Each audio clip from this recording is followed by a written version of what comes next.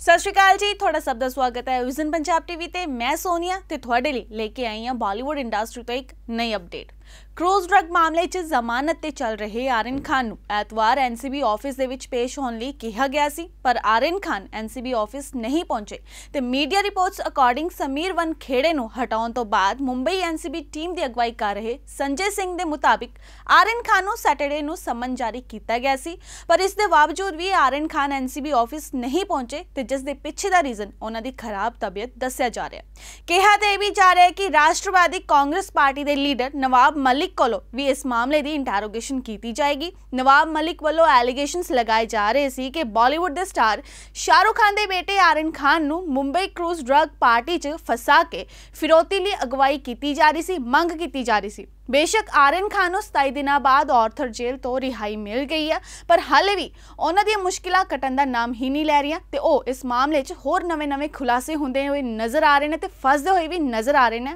Aran Khan